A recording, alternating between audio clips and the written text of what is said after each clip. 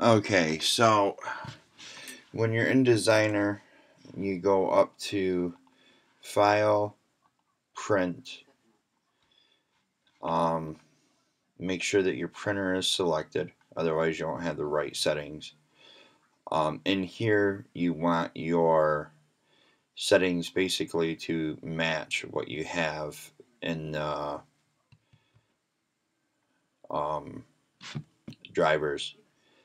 Um, I do not have my drivers configured on this. So, and then here where it goes range and scale, select the drop down. You go to color matching.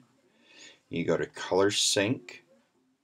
Here where it says profile, you go to other profiles and then it's going to bring up a library.